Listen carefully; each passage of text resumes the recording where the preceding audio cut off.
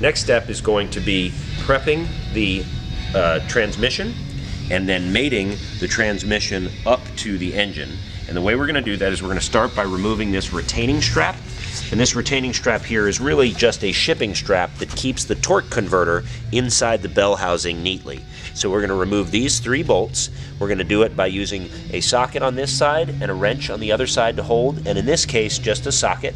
And then we'll remove the retaining strap and place these fasteners in our scrap bin.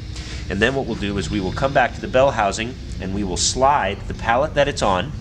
You'll note that it's sticking out over the end of the pallet so that it can get up close to the engine, which is sitting back on the inside of its pallet.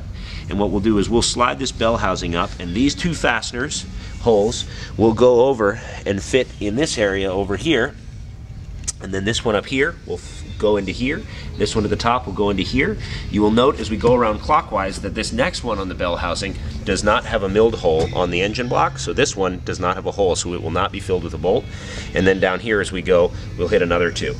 And so those will be the ones that we put on. And the torque spec of those is 37. 37 foot-pounds. And what I'll be doing is I will be using, since we have a lot of thread on the bolts, I will be using an impact gun, but only to be able to move.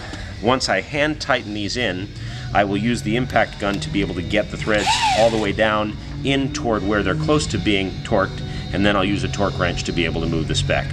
This should be done under the supervision of a builder trainer to make sure that they, one, don't get cross-threaded, and two, don't get over-torqued. Typically, the torque of a fresh battery in this impact gun is only up to 30 foot-pounds. So even if I drove it all the way in, it still should be shy of the 37 foot-pounds that I need to put on these bolts and then we'll have it mated and that will be the end of the step and we'll mark the bolts.